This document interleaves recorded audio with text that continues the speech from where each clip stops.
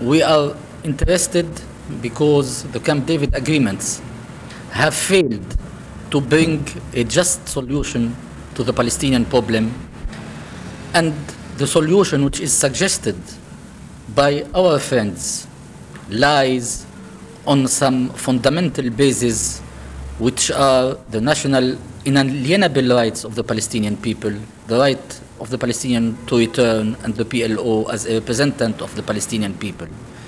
I hope Greek government uh, will uh, uh, accept to help the organization of this uh, uh, conference, and uh, I'm sure that different circles of European public opinion will participate. Everyone understands that peace in Middle East cannot be secured without a settlement of the Palestinian question. That means the right of the Palestinian people to have his own country in uh, the uh, ground of his uh, ancestors. Uh, we are afraid that uh, uh, with the bankruptcy of Camp David agreements, the situation will be critical in the Middle East.